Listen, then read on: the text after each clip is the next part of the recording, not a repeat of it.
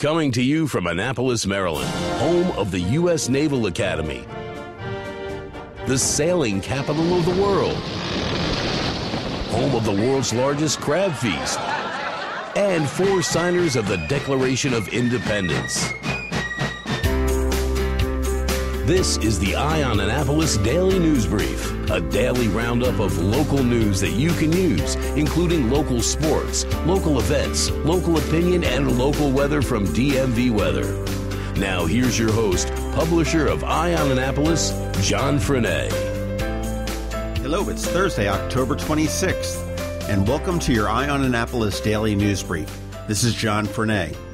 I wanted to bring this out not as an event for the weekend, because on Saturday, October 28th, from 10 a.m. to 2 p.m., the Annapolis Police Department, Anne Arundel County Police Department, and the Maryland State Police will be participating in the Drug Enforcement Agency's Take Back Day.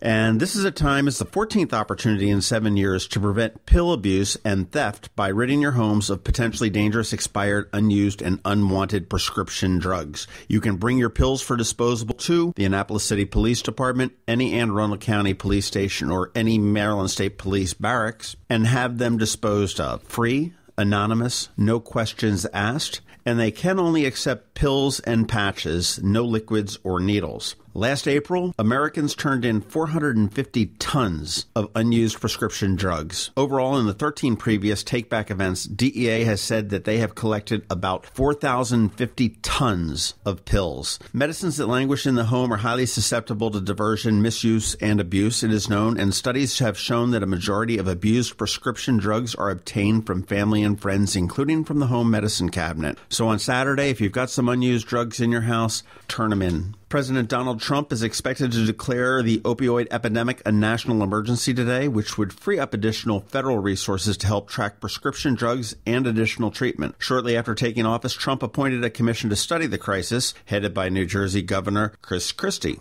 Yesterday, Governor Larry Hogan said he's going to open up his wallet again and put $50.3 million into easing congestion in some of the state's most congested roads with a huge upgrade to the traffic signals.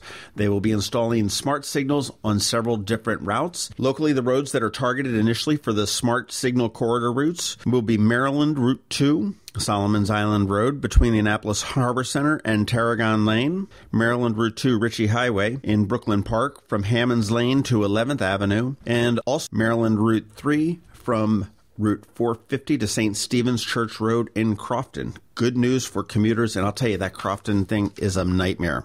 Big kudos to the Annapolis boat shows. They decided to come up with Hands Across the Transom this year, which was an effort to raise money to help the islands that were affected by the hurricanes over the summer. In the end, they raised more than $250,000 from people putting money in collection boxes to people attending their opening gala to the various vendors that were there as part of the marine industry. $250,000, an incredible effort. And if you still want to donate, they are collecting through the end of the year. You can go to Annapolis boatshows.com and donate. And finally, I'm not sure what to say about the Annapolis City Council race in Ward 1. Several weeks ago, the Capital reported that Ellie Tierney had a theft conviction that was expunged, which legally means no longer legally exists. And her opponent, Larry Clausen, had a probation before judgment for a hit and run accident where he left the scene of an accident. Now it has come out that in 2011, Tierney was also accused of a theft at a grocery store in Baltimore. She was accused of taking goods worth $50.95 from a Safeway on Boston Street was served a criminal citation in March of 2011. However, prosecutors declined to prosecute that case. Don't know how this is going to fare for either of them, but Ward 1, you're kind of a mess. This is Maryland. The weather can be nearly unpredictable. We've got George Young from DMV Weather in Annapolis to sort it all out.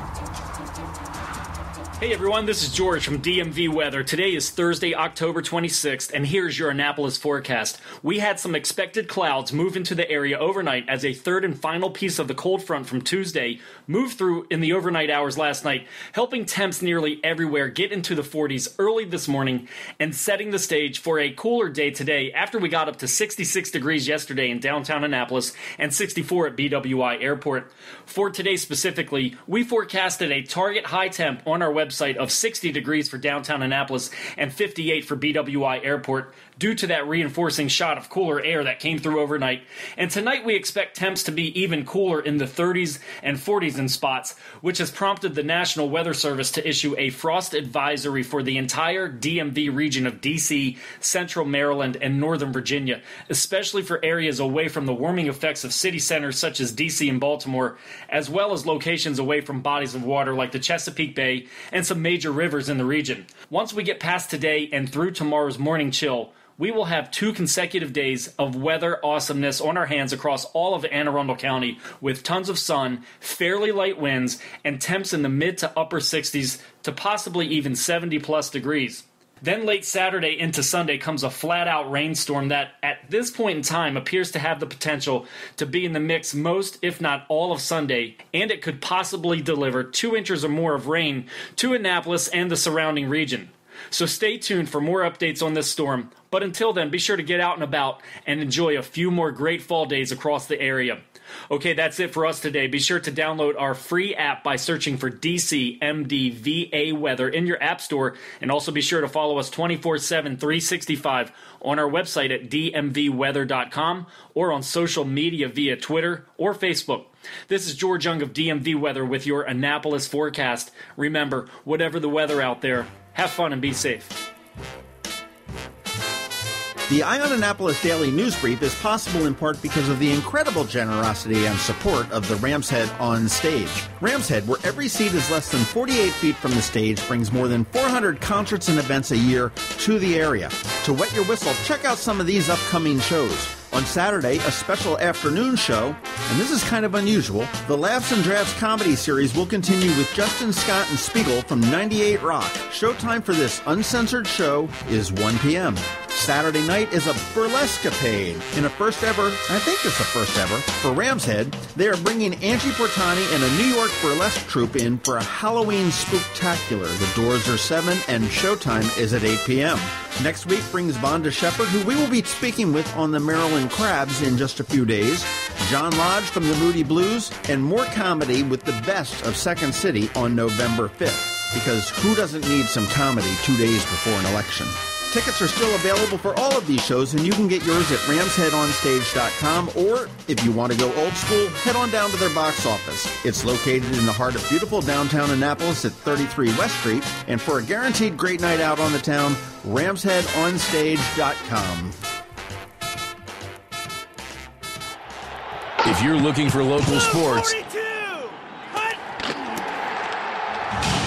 it's right here, right now on the Eye on Annapolis Daily News Brief. Tonight, the Baltimore Ravens will take on the Miami Dolphins for Thursday night football. Whether you're heading over to the game or staying home, there are a couple things you need to look out for. Many Dolphins fans will finally get their wish when Matt Moore likely takes over for the injured Jay Cutler. Cutler, who suffered cracked ribs on Sunday, has been ruled out, which means fans who have been booing Cutler, clamoring for more, should get their wish. Unfortunately for the Ravens, we don't have a backup quarterback in Baltimore to give them any hope. Joe Flacco's numbers this year are at an all time low five touchdowns, eight interceptions, and a quarterback rating of 70. That's lower than players like Mike Glennon, Brian Hoyer, Kevin Hogan. Flacco has never been further from elite status. Let's see what the Ravens can do tonight. Coming up tomorrow, we've got some high school football games. Annapolis Area Christian School is at St. John's Catholic. St. Mary's is at Boys Latin. Severn at Pallotti. Kent Island at North Caroline. Northeast at Meade. Southern at Chesapeake. Old Mill at Arundel. Glen Burnie at Broadneck. Annapolis at Severna Park. South River at North County. Spalding at Gilman. And in college action, Indiana at Maryland. Thanks for listening to the Eye on Annapolis Daily News Brief. If you like what you heard, make sure to tell your friends and colleagues about it. And also tell them about our website, eyeonannapolis.net, where you can find much more. Be sure to check out our other weekly podcast, The Maryland Crabs. This podcast comes to you every Monday through Friday at noon. Thanks for listening, and we'll see you next time.